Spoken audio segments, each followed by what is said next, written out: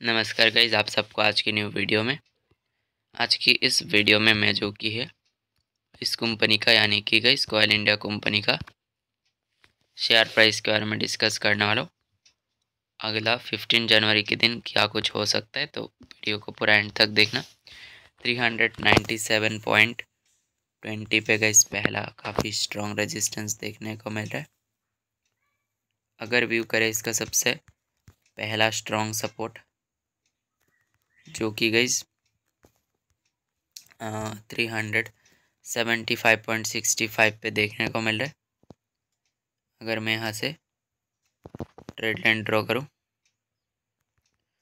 Trade line ये लगाते यहाँ से अगर आप लोग देखोगे स्टॉक कंटिन्यूसली रिवर्सल फेस कर रहा था। तो रेजिस्टेंस तो देख ही चुके हो।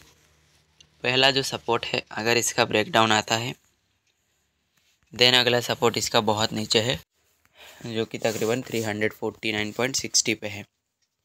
नेक्स्ट वीक के लिए ज़्यादा बुलिश देखने को नहीं मिल रहा है। लेवल पे फॉलो कर सकते हो। मुझसे कांटेक्ट करके स्टॉक से रिगार्डिंग कुछ भी जानना चाहो तो इस चैनल का अबाउट पे कांटेक्ट है। चाहो तो वहाँ से कर सकते हो।